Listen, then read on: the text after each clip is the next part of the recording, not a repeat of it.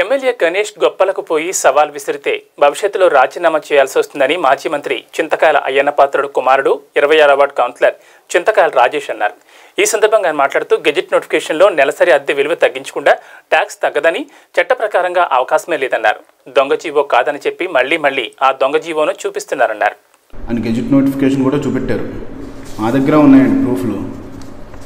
యాక్చువల్గా gazette notification నెలసరి అద్దె విలువ ఎప్పుడైతే తగ్గుతుందో ట్యాక్స్ కూడా అప్పుడే తగ్గుతుంది. అది మీరు తెలుసుకోవాలి.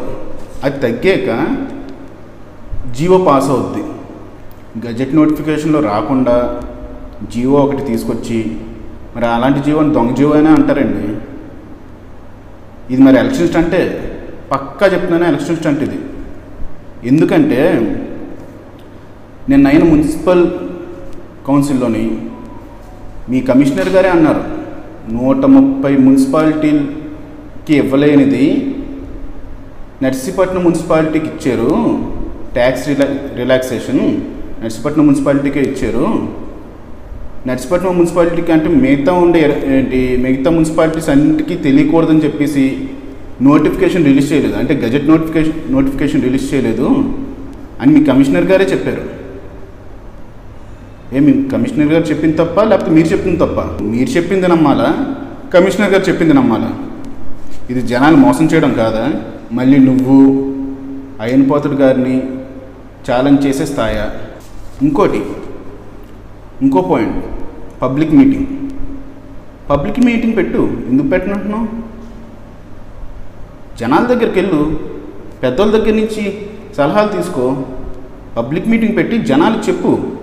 నీకు ఈ ట్యాక్స్ పెంచడం వల్ల మీకు ఇది అంత న్యాయం జరుగుతుంది లేకపోతే మీకు ఇంత నష్టం జరుగుతుందని జనాలు చెప్పు. వాళ్ళు ఒప్పుకుంటే పెంచుకో. వాళ్ళు ఒప్పుకోకపోతే నువ్వు కూడా పోరాడు.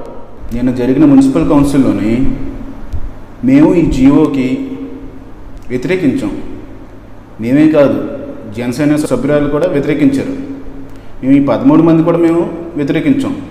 వ్యతిరేకించామని చెప్పేసి మినిట్స్ బుక్లో ఎందుకు రాయలేదు? రాయడానికి ఎందుకు భయపడుతున్నారు మీరు?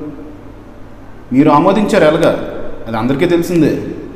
కానీ మేము వ్యతిరేకించాం. అది ఎందుకు మినిట్స్ బుక్లో రాయలేదు?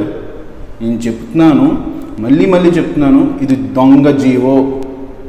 ఇది ఎలక్షన్ స్టంట్ మాత్రమే. ఆరు నెలలు కూడా లేదండి. ఆరు నెలలకి కొత్త జీవో వచ్చేస్తుందా?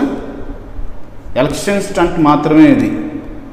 ఎమ్మెల్యే గణేష్ గారు నువ్వు మాత్రం గొప్పలకు పోయి ఇలాంటి ఛాలెంజ్లు చేస్తే భవిష్యత్తులో నిజంగా రాజీనామా చేయాల్సి వస్తుంది అని హెచ్చరిస్తున్నాను మిమ్మల్ని.